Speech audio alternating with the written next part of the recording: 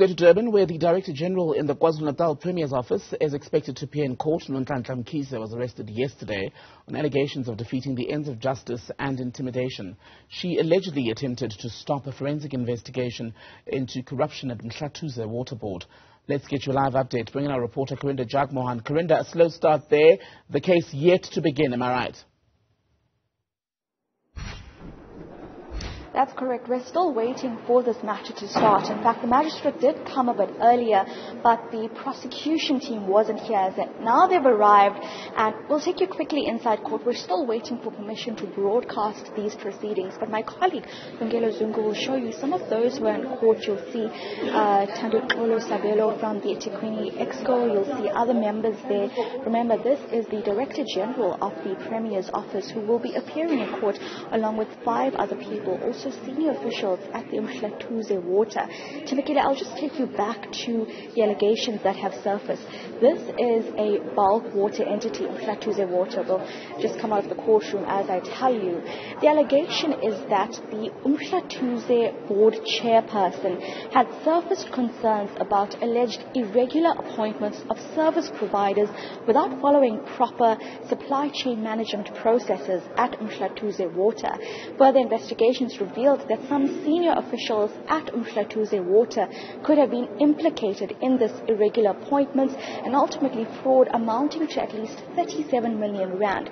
But the board chairperson who raised these concerns and allegations said that she had been visited at her home by an unknown person who said they were from the National Intelligence Agency and were sent to her house by the KZN Premier's office. Thereafter, they threatened her with arrest unless she stopped the investigation investigation and hand over this forensic report. Ultimately, the Hawks have been investigating all of these allegations and have um, come to the decision to arrest the Director General of the Premier's office, her partner as well. They've been charged with intimidation and defeating the ends of justice. Then four other people have also been arrested and are apparently uh, high-ranking officials at Mhlathuze Water to be charged with corruption related to the similar allegations that we just mentioned.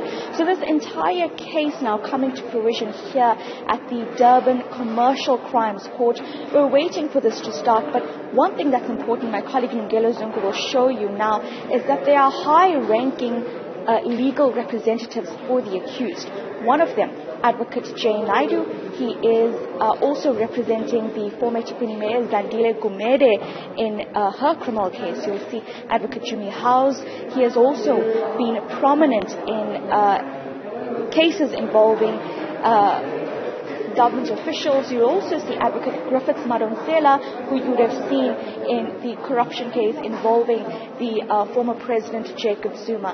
High-ranking or prominent legal representative defense attorneys. We've just also seen the public prosecutor walk in.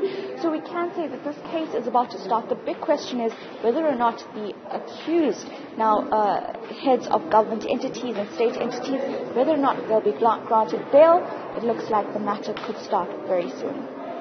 Karinda Jagmohan, thank you very much for that update from Durban.